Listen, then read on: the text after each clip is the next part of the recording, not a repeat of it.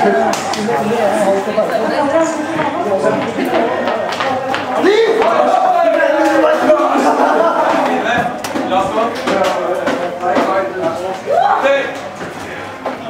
jeg er noe av det beste som har blitt vist på i Mjøndalen noen gang.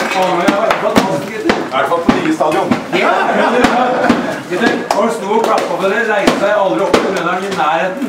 Reiste seg opp til den annen gang, var helt utrolig bra, gutter. Eh, vi må restere litt. Nei, vi må ta den Ja. jævla sangen først. Vi, vi synger, vi synger neste dere, og så uh, han står den midten. Og så er det kamp i morgen. Dere får beskjed hvis vi ikke starta. Men det var helt fantastisk. Takk for kampen.